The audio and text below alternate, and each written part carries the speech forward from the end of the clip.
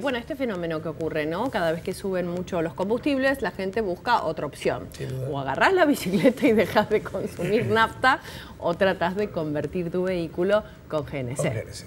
Bueno, aparentemente desde el último aumento este, muchas personas al menos comenzaron a consultar, otros directamente a hacer el cambio para poner los tubos en sus vehículos. Y nosotros estuvimos hablando, el costo es un promedio de 20 mil pesos, ¿no? Depende del tanque y del vehículo y dice que lo amortizás entre 4 y 8 meses también, depende del vehículo y del uso que se le dé. Pero Lisandro León estuvo armando un informe al respecto.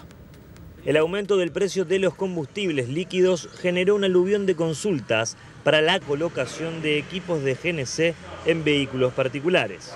Una actividad que fue golpeada durante todo el año pasado. Si bien el GNC siempre fue muy conveniente, hubo momentos que era mucho más conveniente, momentos que no fue tanto, siempre tiene altos y altibajos esto.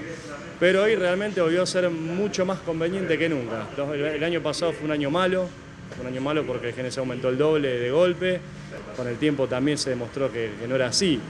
Eh, pero sí, sí, gracias a Dios el trabajo creció muchísimo. Los precios de los equipos y las facilidades de abonarlo en cuotas impulsan la conversión.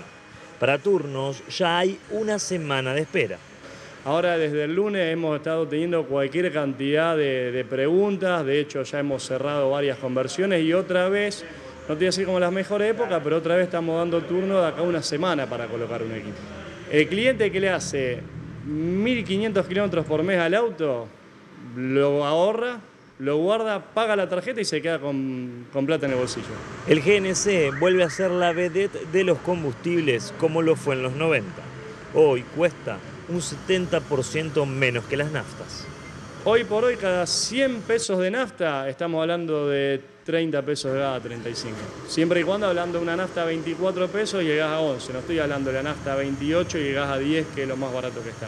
Nosotros estamos incluidos en el plan ahora 2, ahora 18, lo cual nos permite ofrecer un equipo de GNC para un Chevrolet Corsa, por ejemplo, que es lo más común, o un auto de más alta gama, en 12 cuotas de 1.400 pesos a 18 cuotas de 1.000 pesos. O sea, esa es más o menos la financiación que estamos teniendo.